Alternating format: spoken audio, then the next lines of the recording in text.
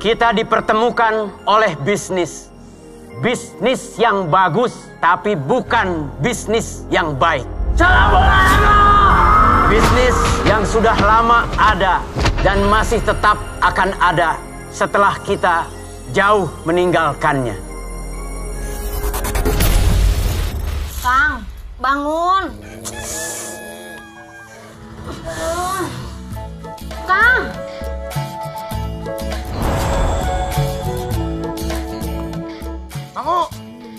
Hai, yo!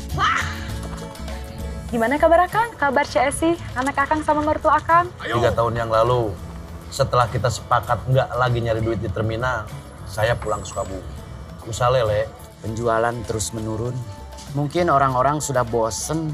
setelah hampir dua tahun jalan tersendat-sendat, terus saya bangkrut. Jangan-jangan kamu mikirin perempuan lain, bukan mikirin bisnis jaket. Oh my God.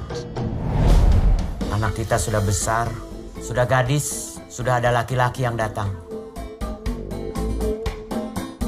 Mau apa kamu? mau salaman om? Saya nggak mau. Akang mau balik ke sini? Mau pegang terminal lagi? Kita mau ada reuni kecil-kecilan. Boleh. Di mana? Tempatnya nanti dikasih tahu. Kamu jangan sampai tahu. Kenapa? Imas curiga suami Mas ada perempuan lain. Dik-dik selingkuh. Kamu cek. Bener, dia ada perempuan lain. Bergerak Pit. Gimana? Si Pipit nggak ada. Ke mana? Belanjanya sendirian aja teh.